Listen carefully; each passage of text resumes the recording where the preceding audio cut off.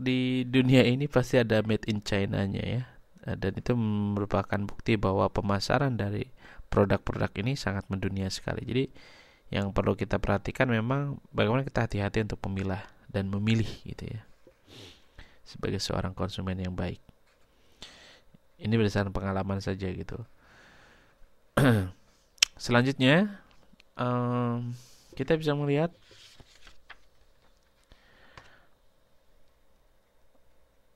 marketing mix.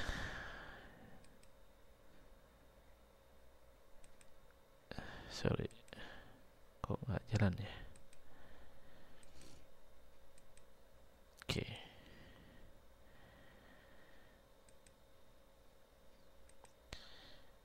Sorry kelebihan. Nah jadi dalam dalam uh, marketing mix ini ada yang namanya kebutuhan secara ekonomis. Dia mengenali problem permasalahannya ya. Jadi uh, ada variabel psikologis, terus juga ada pengaruh lingkungan sosial, situasi pembelian. Jadi bagaimana keempat hal ini akan mempengaruhi proses pemilihan, ya, keputusan, consumer decision process.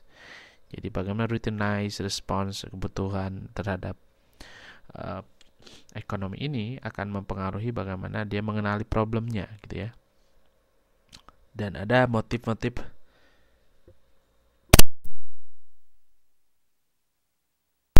motif-motif secara rasional juga emosional serta juga ada pengalaman experience setelah membeli ini akan menjadikan feedback ya ke pengalaman problem tersebut juga bisa mempengaruhi postpone decision ataupun uh, mempengaruhi keputusan tersebut. Uh, entah itu mencari informasi, alternatif-alternatif maupun kriteria tertentu. Jadi bagaimana pengaruh-pengaruh dari beberapa hal yang mungkin kaitannya dengan uh, kebutuhan ekonomi itu bisa mempengaruhi juga keputusan orang untuk membeli gitu ya. Selanjutnya ada pasar organisasi dan perilaku pembelian. Jadi kategori pasar organisasi ada yang namanya pasar industri. Industri ini contoh misalkan melakukan pembelian barang yang diperlukan untuk membuat barang lain. Industri contoh ini mie instannya bukan mie instan yang ini ya, tapi mie instan yang um, belum pakai apa ya belum pakai bumbu gitu ya. Itu dia akan dijual terus yang beli misalkan tukang mie, tukang bakso misalkan. Dia akan mengcreate bakso dengan mie tersebut gitu. Mie ini bukan mie instan yang yang sering di kita beli misalkan tapi ini mie instan yang yang bisa digabung dengan yang lain-lain jadi tanpa bumbu. Uh, selanjutnya ada yang namanya pasar penjual reseller. Jadi bagaimana produk menjual konsumen melalui satu pasar penjual yang terdiri dari perantara ya intermediaries termasuk penjual besar wholesalers ataupun distributor. Ada juga penjual eceran retailers ngecer gitu ya. Um, yang membeli produk tersebut dan akhirnya dijual lagi. Selanjutnya ada yang namanya pasar pemerintah institusi, bagaimana um, pasar institusi tersebut um, memberikan semacam pasar yang cukup komersial, contoh obat ya, obat-obatan di rumah sakit itu tentu saja penyediaan obatnya selain dari pemerintah sendiri yang menyediakan ada juga beberapa uh, pihak-pihak swasta yang mencoba masuk untuk untuk menyediakan obat ya. Makanya di Indonesia ada um, obat generik ada juga obat yang paten katanya. Padahal yang namanya um, obat gitu harusnya nggak ada perbedaan ya. Yang membedakan adalah uh, justru nanti mungkin penyakitnya justru bukan kita berpatokan pada harga ini ini membuat yang si miskin nih obatin pakai generik ini buat si kaya nih pakai yang paten enggak harusnya enggak boleh seperti itu semua sama gitu ya menyembuhkan itu kan sebuah uh, nilai sosial dari sebuah produk. Tapi uh, kenyataannya memang agak sedikit berbeda ya. Tapi uh, ini merupakan dinamisasi dari sebuah produk juga. Selanjutnya uh, perilaku dari pembelian organisasi. Yang pertama perbedaan permintaan, ada permintaan derivatif. Permintaan derivatif itu artinya um, barang industri yang timbul akibat uh, adanya permintaan konsumen. Contoh misalkan uh, film. Nah, karena orang butuh banget film hiburan gitu ya. Jadi mereka muncul dalam 3D, mereka muncul dalam 4D, 4 dimensi, 3 dimensi. Terus juga uh, menjual properti, dia mencoba uh, display-display teater dan lain sebagainya. Jadi karena dia muncul dalam proses ketika dunia hiburan itu dibutuhkan gitu ya. Terus ada selanjutnya permintaan tidak elastis timbul ketika harga sebuah produk tidak berpengaruh pada permintaan. Contoh misalkan um, kenaikan harga karton, ya karton untuk contoh kan kita tahu teh dalam kotak ya, kotak-kotak karton itu. Jadi harga karton ini tidak mempengaruhi permintaan cardboard packaging. Jadi pembelian-pembelian karton ini ini tidak akan mempengaruhi karena uh, biasanya mereka uh, apa namanya permintaan yang ada itu tidak akan terpengaruh. Jadi contoh misalkan gini, harga dari harga dari karton gitu ya, itu masuk ke dalam produksi produksi barang kita. Ya meskipun um, istilahnya kan misalkan gara-gara gara-gara naik harga karton jadi permintaannya menurun kan nggak juga artinya um, yang pengaruh mungkin nanti ke harga gitu ya berikutnya tapi biasanya uh, dalam sebuah industri ketika ada kenaikan barang-barang tertentu biasanya mereka akan melakukan cross ataupun uh, pemotongan di seksi-seksi tertentu. Sehingga barang yang dihasilkan sama dan uh, harga yang dijual pun sama gitu ya. Jadi mungkin mereka akan mengurangi namanya um, proses produksinya gitu ya. Supaya nanti bisa mengimbangi dari kenaikan harga karton tersebut gitu ya. Dan harga karton tersebut tentu saja ini akan berpengaruh nanti ke depannya.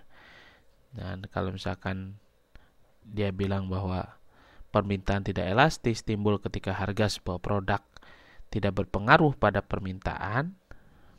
Jadi sebetulnya uh, permintaan yang ada ini akan terpengaruh nanti setelah satu kali produksi. Contoh misalkan ya, kita um, memproduksi barang terus harganya berbeda. Nah, semua ongkos ini akan terpengaruh dalam ongkos produksi.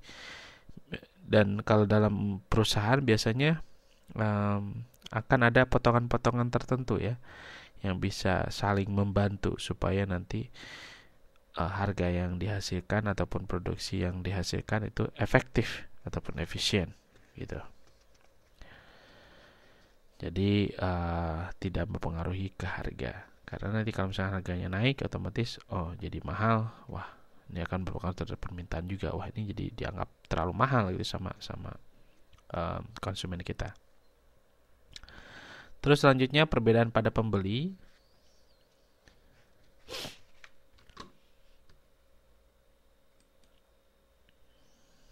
Perbedaan pada pembeli kita sebagai profesional kita sebagai seorang spesialis, kita sebagai seorang ahli dan produk yang akan dibeli gitu ya.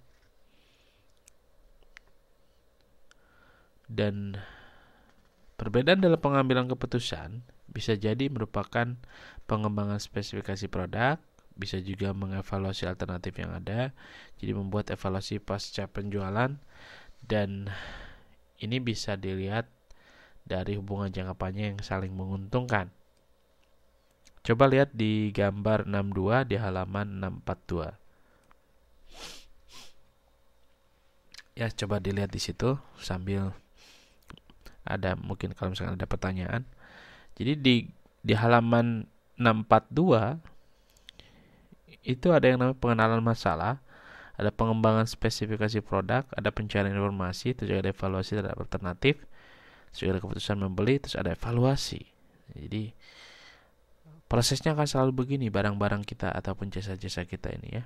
Jadi orang akan mengenali dulu barang kita, terus juga ada wah ini kita akan mencoba juga melihat uh, kita sebagai orang yang uh, tahu produk gitu ya, spesifikasi produk, terus juga mencari informasinya. Selanjutnya juga uh, menggunakan spesifikasi produk tersebut dan apakah jadi atau tidak jadinya membeli ini akan menjadi semacam feedback ataupun uh, masukan untuk supplier vendor kita gitu ya.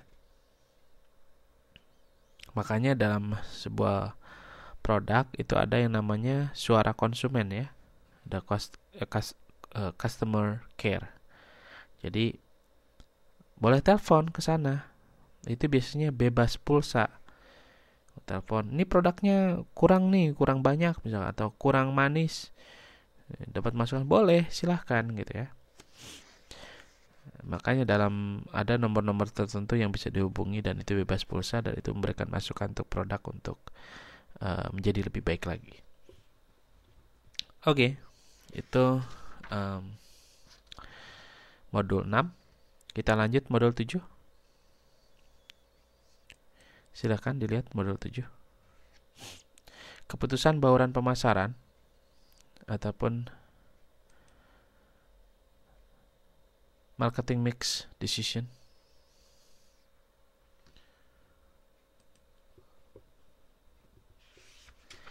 Ini kaitannya dengan konsep pengembangan produk, penetapan harga, serta distribusi produk ya. Jadi kalau kita bicara tentang produk, nah kita juga akan bicara tentang um, fitur dan manfaat produk. Terus juga ada pengembangan pengklasifikasian produk ada product lines ada bauran produk ataupun produk mix. Ada juga identifikasi ada pengembangan produk baru ada siklus hidup produk ya.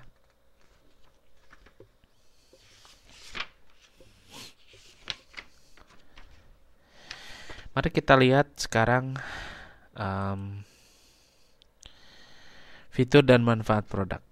Gitu. Jadi fitur dan manfaat produk itu meliputi kualitas baik tangible maupun uh, yang intangible gitu ya. Jadi ini kurang nih ya.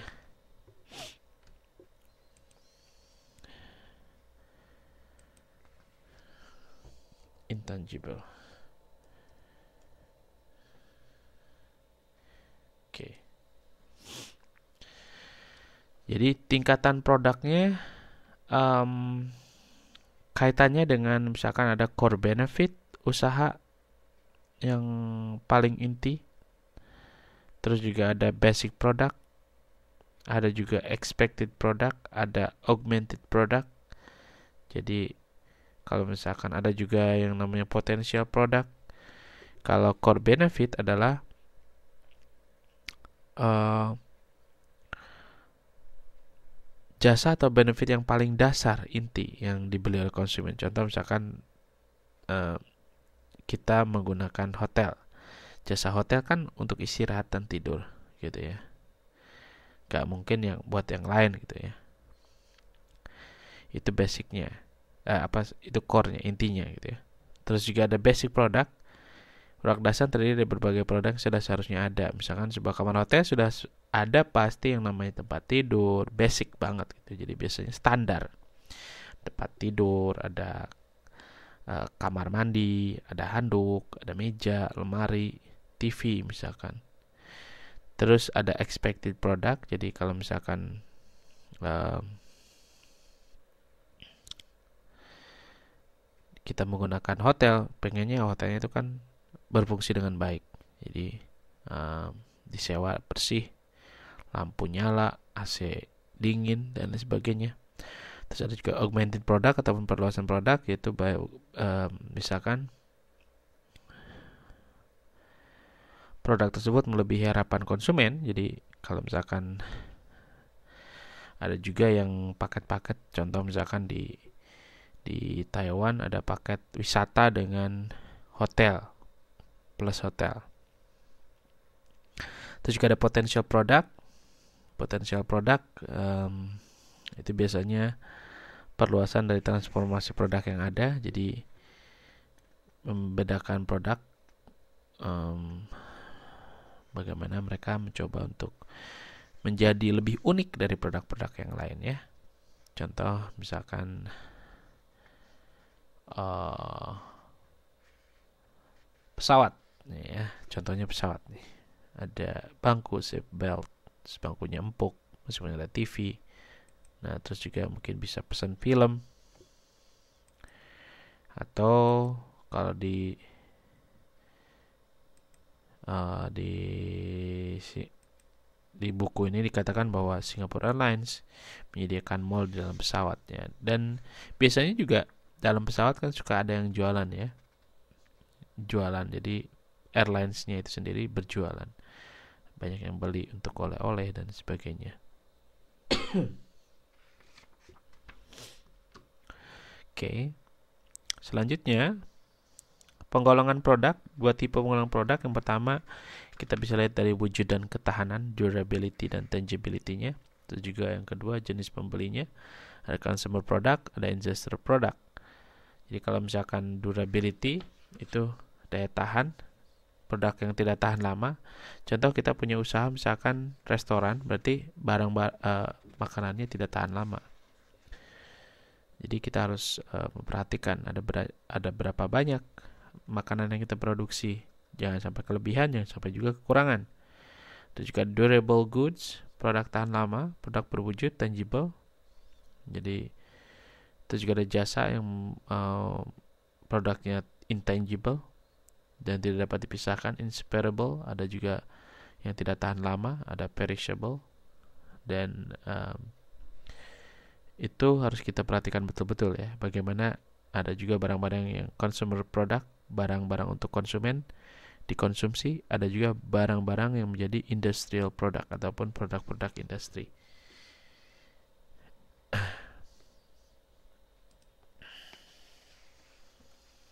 Jadi berdasarkan jenis pembeli, ada juga yang namanya convenience goods services atau convenience services. Itu bisa murah, cepat dikonsumsi, rutin di mudah didapatkan. Contoh ada fast food ada convenience store ada ya convenience store mungkin di Taiwan ada banyak 7-Eleven ada Family Mart itu convenience store ada High Life gitu ya susu bisa didapatkan uh, kapan saja sekarang tidak harus menunggu sapi sehingga pagi misalkan uh, sekarang sudah ada banyak di toko-toko 24 jam dan dibungkus dalam kemasan-kemasan yang menarik ya. Shopping goods, services agak mahal, jarang dibeli, uh, bisa dibandingkan mereknya. Contoh uh, eh, TV, oke, okay. TV ada banyak merek-merek yang mahal, murah, sedang. Ada juga yang mungkin keluaran terbaru, uh, style lama. Nah, jadi ini merupakan shopping goods services. Uh, ada juga yang namanya specialty goods ataupun specialty services. Jadi karakteristiknya unik, sangat penting dan mahal. Contoh mobil ya. Juga ada catering. Ya, catering ini unik dan penting gitu kalau dalam perkawinan. Jadi kalau nggak ada makanan orang bisa ngamuk semua ya. Terus juga ada unsought product, produk yang tidak dicari atau unsought services, tidak terpikirkan oleh konsumen. Contoh asuransi, ada kamus juga, ada ensiklopedia juga. Asuransi orang uh, di Indonesia belum menjadi sebuah kepentingan ya. Tapi kalau di Taiwan sendiri kalau nggak bayar asuransi, nah bisa didenda itu ya. Atau kalau nggak, eh, ini bisa mempermudah kita untuk um, mendapatkan jasa layanan kesehatan yang layak dengan harga yang murah. Selanjutnya, kita bisa lihat produk industrial, expense item, jadi material jasa yang dikonsumsi dalam satu tahun dan digunakan dalam proses produksi, contoh terigu untuk mie instan ya. Terus juga ada capital item, tahan lebih dari satu tahun, mahal dan tahan lama, contoh misalkan mesin. Nah, teman-teman yang ada di pabrik tahu mungkin ya, bahwa ada yang namanya uh, capital item, itu jadi modal yang cukup kuat bagi pabrik-pabrik ataupun perusahaan-perusahaan tersebut. Jadi mesin, jadi produk industrial. Selanjutnya ada product lines.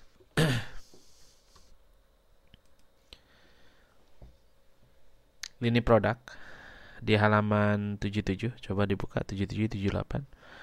Kelompok produk yang mirip tujukan untuk konsumen yang serupa namun tidak identik. Terus juga dari ini produk ini meliputi ukuran, ada tipe tipe barangnya atau jenis-jenisnya, terus kualitasnya, ada warna serta harga. Nah, Makanya ada yang namanya diversifikasi produk yang ada. Ya, jadi memperluas cakupan produk di luar produk-produk yang sudah ada.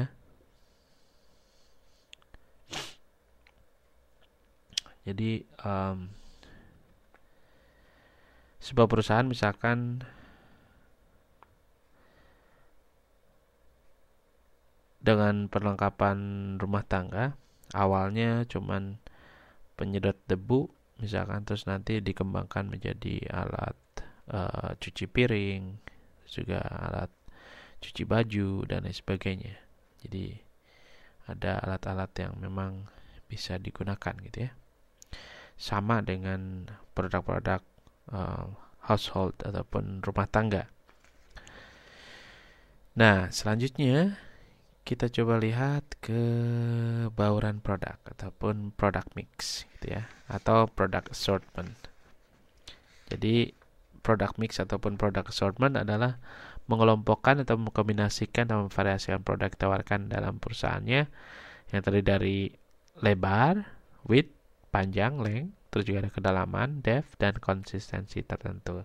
Jadi width-nya, contoh misalnya seberapa banyak perbedaan ini produknya, Contoh misalkan ada deterjen, pasta gigi, sabun batangan, popok, tisu kertas dan sebagainya. Jadi ada banyak dalam satu merek. Eh dari berbagai merek, sorry. Jadi kalau misalkan ini uh, contoh misalkan perusahaan PNG, Procter and Gamble, mereka uh, Unilever juga mungkin atau mungkin juga perusahaan-perusahaan yang lain, mereka punya banyak produk ya, ada pasta gigi, ada sabun batangan, ada popok, tisu, shampoo, itu juga lain sebagainya. Slang, bauran produk artinya jumlah total item produk yang ada dalam bauran uh, terdapat total 25 item produk. Terus juga depth, satu bauran produk artinya seberapa banyak variasi yang ditawarkan oleh setiap produk dalam satu lini. Contoh mereka sampo merek uh, Head and Shoulders. Memiliki tiga ukuran. Misalkan ada yang kecil ada yang menengah ada yang gede gitu ya. Sama juga dengan misalkan um, pasta gigi Pepsodent misalkan. Ada yang mini ada yang medium ada family. Jadi banyak sekali. Terus ada konsistensi satu bauran produk seperti pendekat hubungan antara berbagai ini produk dalam penggunaan akhir penggunaan uh, permintaan produk serta juga saluran distribusi yang digunakan misalkan produk-produknya Procter Gamble dan ini masih konsisten berada di jalur consumer goods menggunakan calon distribusi yang sama ya. Jadi um, produk-produk rumah tangga lah istilahnya, kebutuhan-kebutuhan daily life kita. Contoh ada um, pasta gigi, ada shampoo, ada sabun gitu ya. Terus juga kebutuhan anak dan sebagainya.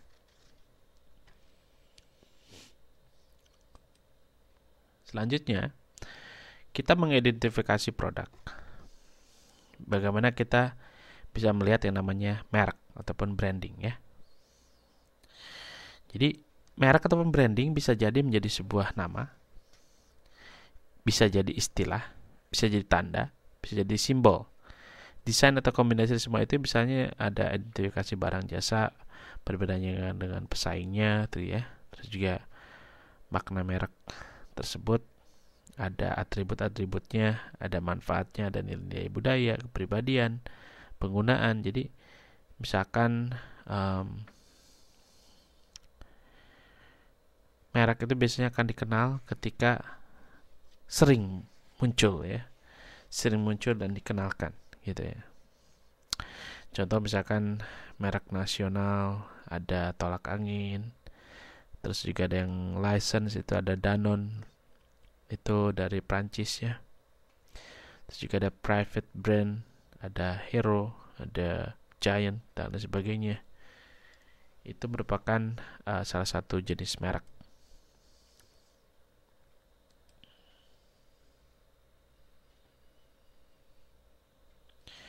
Terus yang kedua, mengemas produk ataupun packaging produk. Tiga level pengemasan, pertama ada yang namanya primary package, ada secondary package dan shipping package.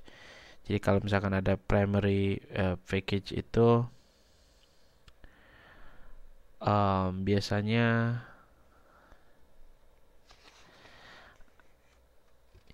itu barang yang memang langsung di dalamnya uh, produk yang akan dipakai. Contoh lotion ya. Jadi ada botolnya kan atau uh, botol tersebut isinya lotion gitu. Itu primary. Primary. Terus juga secondary. Secondary itu biasanya botolnya itu dimasukkan ke dalam kardus misalkan, kotak kertas. Terus ada kalau shipping package itu biasanya misalkan kotak-kotak lotion itu nanti dibikin 12 satu lusin misalkan. Terus dikasih plastik lagi. Nah itu bagiannya dinamakan shipping package gitu ya. Ada primary primary terus juga ada secondary dan ada shipping package. Selanjutnya manfaat kemasan. Yang pertama self service jadi uh, yang beli bisa melayani dengan dirinya sendiri gitu ya mengambil produk tersebut dan nanti tinggal ke kasir saja. Terus juga ada consumer affluence ataupun tingkat kemampuan konsumen. Semakin tinggi kemampuan konsumen jadi meningkatkan kesadaran konsumen supaya lebih tinggi pada produk-produk yang menyediakan kemasan yang lebih baik. Entah itu dari penampilannya kehandalannya prestisnya dan bentuk-bentuk kemasan yang lebih baik. Coba teman-teman uh, amati ya di kelas convenience store ataupun uh, di Taiwan sendiri di seluruh Indonesia uh, di seluruh Indonesia juga sudah ada sekarang convenience store. Tapi kalau misalkan di Taiwan sendiri kan bagaimana misalkan nasi dibungkus buah-buahan dibungkus di package packagingnya sangat menarik ya. Entah itu kaitannya dengan kesehatan entah itu uh, dengan kaitannya dengan uh, kenyamanan gitu ya. Orang akan lebih senang belinya. Jadi memang agak sedikit mahal package di Taiwan ya. Bagaimana mereka mengemas dari nasi kepal menjadi kemasan yang cukup menarik untuk orang bisa beli gitu ya. Nah ada juga kalau namanya package itu bisa menandakan juga merek dan image perusahaan. Nah, package yang bagus berarti ini perusahaannya bonafit nih, gitu ya. Terus juga ada kesempatan inovasi, misalkan ada wadah yang yang menarik lah ya. Terus juga melindungi hak milik dan intelektual. Uh, di beberapa negara kemasan-kemasan kadang sulit ditiru gitu ya. Ada supaya menghindari pembajakan gitu. Selanjutnya, kita coba lihat tentang labeling. Jadi fungsi labeling itu merupakan bagian dari kemasan produk yang mengidentifikasi, menunjukkan nama produk, atau juga ada produsen yang memproduksi, terus juga apa saja yang menjadi elemen produk. Jadi contoh misalkan mie instan dulu ya, Taiwan sempat rame mie instan Indonesia yang dilarang masuk karena uh, tidak memenuhi standar kesehatan di Taiwan misalkan. Jadi nama produknya ada, produsennya siapa, terus juga apa uh, konten dalam